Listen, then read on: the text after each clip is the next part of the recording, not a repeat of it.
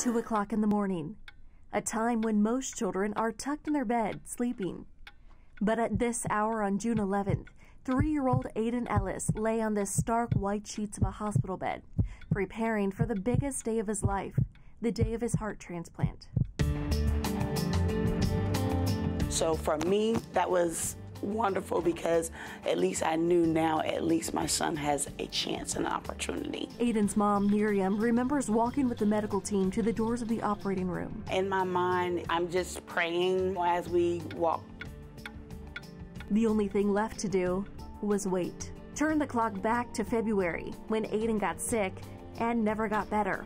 His mom rushed him to the emergency room. I was terrified because I was alone with Aiden. By the time he arrived, Aiden had slipped into cardiac arrest, his heart too weak to pump blood to the rest of his body. His organs were not getting enough blood supply. He basically had to be brought into the intensive care unit and be started on life support. Doctors put Aiden on a machine known as ECMO, which uses a pump to circulate blood through an artificial lung and back into the patient's bloodstream. For them to tell me that if he didn't go on ECMO bypass that night, he wouldn't survive the night. But the machine was a temporary solution, a band aid for Aiden's failing heart. He was born with a genetic defect called cardiomyopathy. The uh, structure of his heart, the, the muscle, was sick from the beginning and it worked until it couldn't work no more. By the time Aiden turned three, his heart could no longer keep up with him. A transplant was his only option. For the next four months, his mom and the doctors did all they could do take it one day at a time. As a mom, I'm not sure what's going to take place. I don't know how long we're going to be here. I'm a single mom. I just didn't know what to do. Only thing I knew to do was to pray. Pray for those that could take care of things that I couldn't. Fast forward to June 10th when Miriam finally got a phone call with the news. Doctors found a match for Aiden. Carolina Healthcare System's MedCenter Air played a big part in Aiden's story.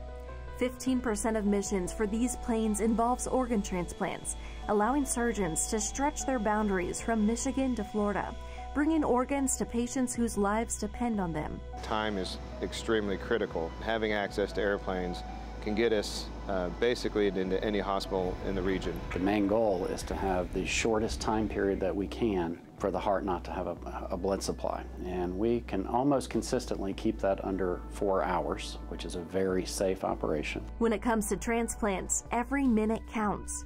Around the clock, teams are ready to go at a moment's notice. We always have two aircraft and two sets of pilots and medical crew members um, on standby at any given time. 12:30 p.m. Aiden comes out of the operating room with a new heart. Very emotional. Only thing I could think of is I have an opportunity to have my child back and have a life back. Aiden is one of eight children this year who received a heart transplant at Levine Children's Hospital. Named a Best Children's Hospital in Cardiology and Heart Surgery by U.S. News and World Report for the last three years. I'd see a miracle every day. I think a level of expertise that we have here and the passionate people that we have dedicated to what they do. Um, it's a whole lot more than the surgeon putting the stitches in. I get a lot of credit for it, but there's a whole lot of moving parts behind the scene that makes that happen. Aiden celebrated his fourth birthday just weeks after the transplant. At a follow up visit, he scoots around the playroom in a plastic car on the road to recovery. And what does green do? Make you go. Good. Absolutely. That is like high five. Miriam enjoys every minute, remembering when her baby boy barely had the strength to get up from the hospital bed. Aiden would have not survived if, if he wouldn't have had the series of things that he did. As a parent, you come in with control, and you have to give up that to people you absolutely do not know in order to gain the life of your child. I had to learn how to make peace within myself that I didn't have control, I had to trust.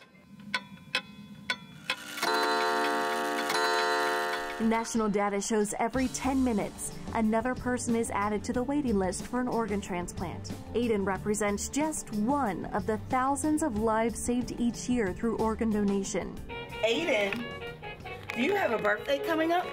His smile, a bittersweet reminder of those who didn't get a second chance. For Carolina Impact, I'm Danielle Koser reporting.